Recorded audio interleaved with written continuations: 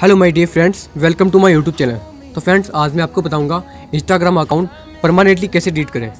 और मुझे कमेंट करके बताना आप क्यों डिलीट करना चाहते हैं। तो फ्रेंड्स जो डिलीट करने का प्रोसेस था, वो थोड़ा डिफ़िकल्ट कर दिया गया है।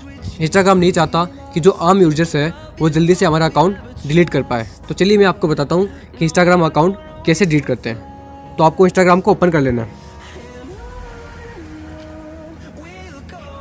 इंस्टाग्राम को ओपन करने के बाद फ्रेंड्स आपको यहाँ पे क्लिक करना। है यहाँ पे क्लिक करने के बाद फ्रेंड्स आपको ऊपर तीन लाइन्स दिखाई दे रही है, उस पर क्लिक करना। है उस पर क्लिक करने के बाद आपको सेटिंग में जाना। है सेटिंग में जाने के बाद फ्रेंड्स आपको हेल्प, इस पर क्लिक करना। है इस पर क्लिक करने के बाद आपको हेल्प सेंटर पर क्लिक करना। है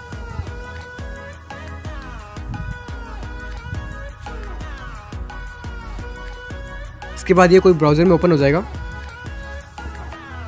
इसके बाद फ्रेंड्स आपको ऊपर स्वाइप अप करना है। आपको यहाँ पे दिखाई दे रहा है vast trending taking a breaking for Instagram इस पर क्लिक करना है। इस पर क्लिक करने के बाद फ्रेंड्स आपको यहाँ पे दिखाई दे रहा है how do I delete my Instagram account इस पर क्लिक करना है। इस पर क्लिक करने के बाद आपको ऊपर स्वाइप अप करना है, और यहाँ पे आपको ऑप्शन दिखाई दे रहा है डिलीट योर अकाउंट इस पर क्लिक करना है। इस पर क्लिक करने के बाद फ्रेंड्स आपको ये पूछेगा कि आप हमारा अकाउंट क्यों डिलीट करना चाहते हैं? तो आपको यहाँ पे कोई भी एक रीज़न डालना है। अगर आप कोई रीज़न नहीं डालना चाहते तो आप इस पर क्लिक कर सकते हैं समथिंग इल्स इसके बाद फ्रेंड्स आपको री एंटर योर पासवर्ड आपको इंस्टाग्राम के अपने जो आप डिलीट करना चाहते हैं, उसके पासवर्ड डालना है। इसके बाद फ्रेंड्स आपको डिलीट योर अकाउंट पे क्लिक करना है। इस पर क्लिक करने के बाद आपको ओके दबाना है। तो फ्रेंड्स आपके सामने ये टाइम आ गया। इंस्टाग्राम अकाउंट जस्ट डिलीट नहीं होता। मतलब इंस्टाग्राम अपने यूज़र्स का अकाउंट परमानेंटली डिलीट तो करता है, लेकिन एक महीने से पहले डिलीट नहीं करता।